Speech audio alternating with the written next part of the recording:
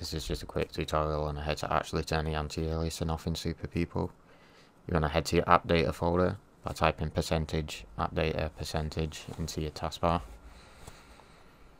This will bring you here. You want to hit app data at the top to go back a subfolder.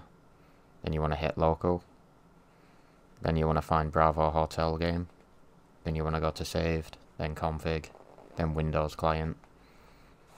And then from here, you want to open game user settings using any text uh, editor.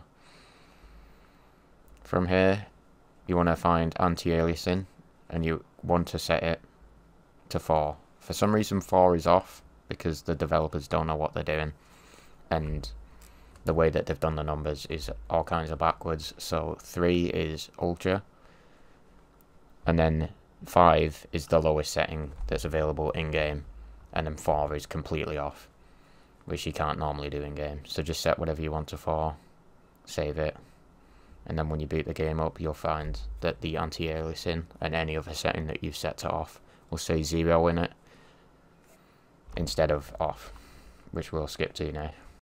Uh, now that we're in game, we can see if we go to settings,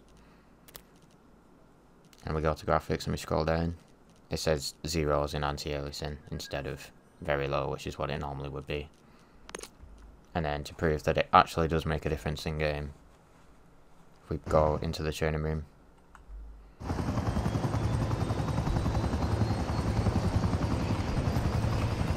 and then we grab any gun on your ADS, if you look at the optic, you'll see when I'm moving it left and right, there's no blur to it. That's at the front sight then if we turn anti-aliasing to very low, which is the lowest you can get in game through the settings, hit apply, you'll see that the optic is extremely blurry now. On the front sight post, look at the white dots and you'll notice that it's significantly blurrier on the right.